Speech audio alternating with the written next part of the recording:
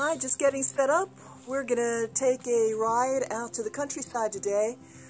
Gonna look for a great spot to paint. It's beautiful out here. I've been at my home studio for a few days doing some cleanup work and some larger work in the studio.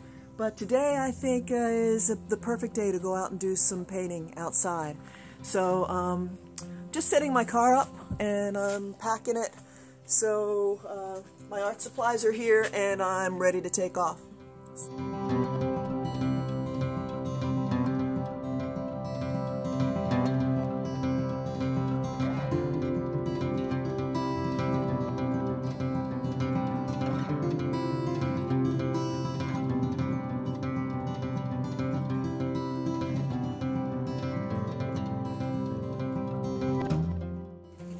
We're out on the marsh and uh, I think this is probably a good spot for me to try to find a place to paint. So, um, yeah, it's really pretty out here. It's high tide. Um, a lot here to paint. So let's take a little walk and we'll see what else we can find um, and see exactly where I want to set up.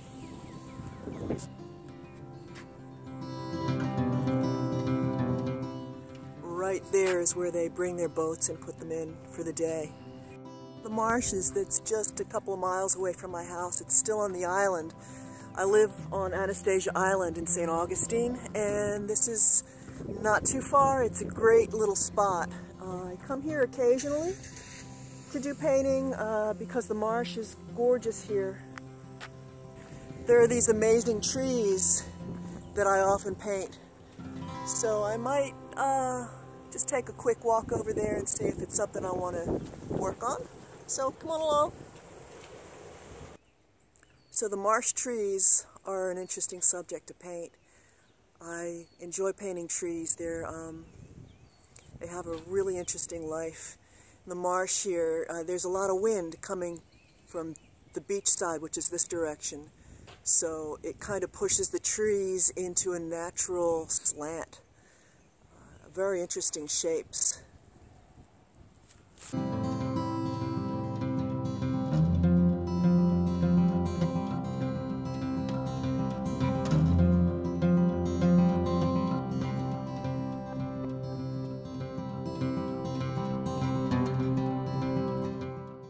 Yeah, those are the trees. I'll paint these today. Just doing a quick sketch to work out where the trees are going to be placed. I like the placement of the trees a little lower for this composition. I think I'll leave a lot of sky and show off the tops of the trees. Working out some darks.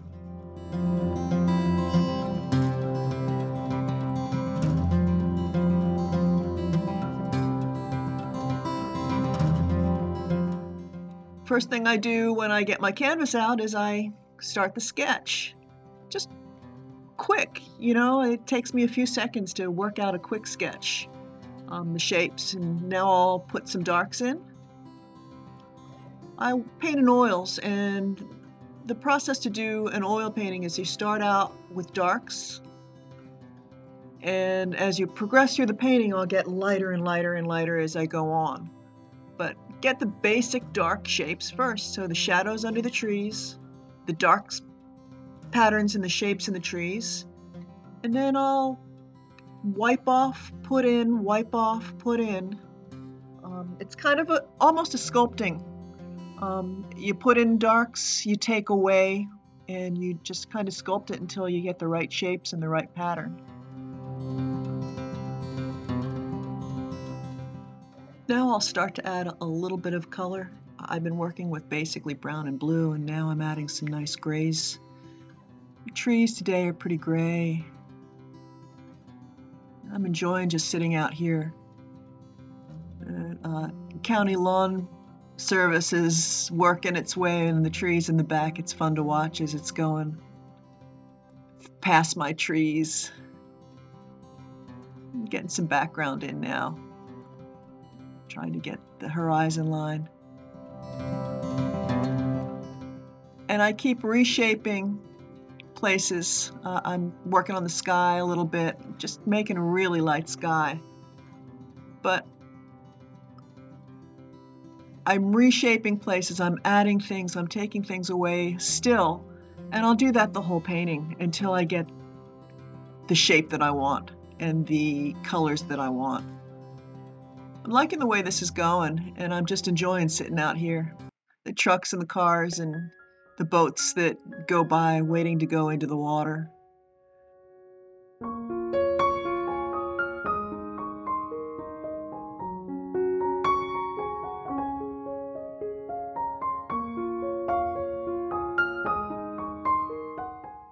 I have been enjoying this outside, but it's time to clean up for now and head on back to the studio to finish up the painting and to work on the details.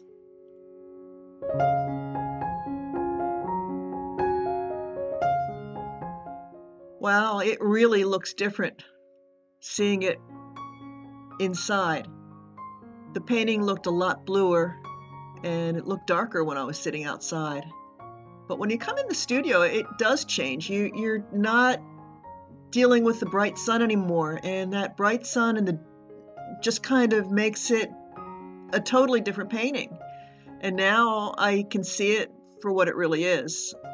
Uh, so I'm working with the browns, and I like it. And I will be changing colors. As you can see here, I'm working with a, some of the lighter lights in the trees and um, just kind of filling in with more colors, more yellows. And now I'll get some darker darks in those trees. It, it's interesting how the darks kind of disappear when you're working on the lights, and so I have to go back and forth, putting some darks in, putting some lights on top of them. Um, and I keep going and reestablishing the darks all the time because I lose them.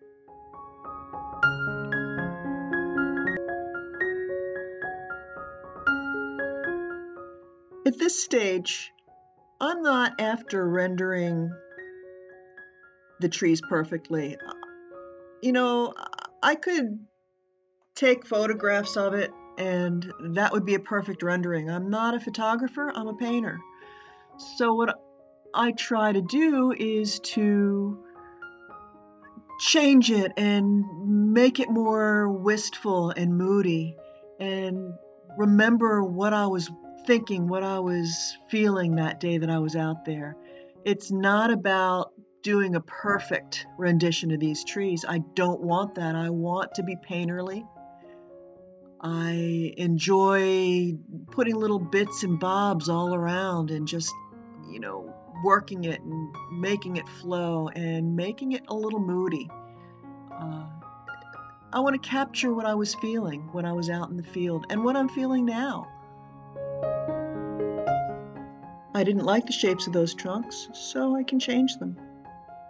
It's not what I see in the photograph, or it's not what I was out there painting before, but in the studio, I feel free to change whatever I want to make the picture a better picture. So as I start working on the details, it's towards the end of the painting, and the details take a lot longer than the initial sketch. Uh, trying to get the values and recorrect the values, and you know, eventually I will sign it, and I'll usually sign it towards the end of a painting, but not at the very end of the painting.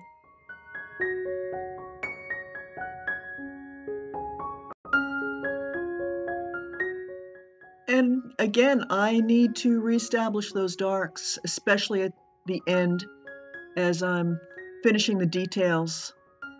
I've lost a lot of those darks that I put in in the beginning. Um, so just working, making sure I have good pattern. Reestablishing some good color. The trees were a little green, so I put kind of a smoky green on the top of those. I try to get a grayish, smoky color a lot. It, it's very moody. I mean, I w- wouldn't want a Christmas tree green in those trees. It just wasn't the color of the trees, and it's not the first green I go to. Greens are a little tricky because you think green should be bright green, and it's not. It's out in nature, everything's a little grayish.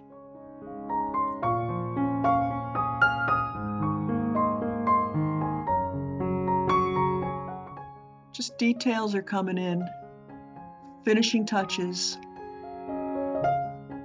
little edges and patterns and reestablishing. I go through a list of things in my head as I'm painting. Are the edges soft? Do I have enough dark? Put sky holes in there.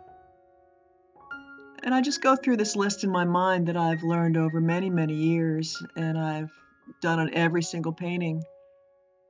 Just edges and finishing touches.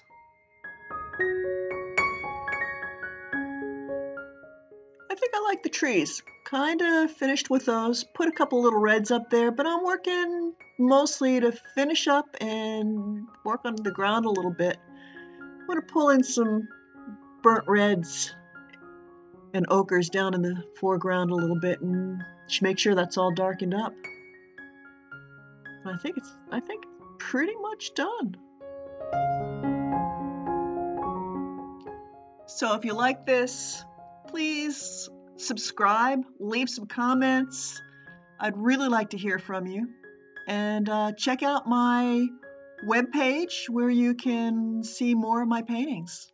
So see you next time. Thanks. Bye.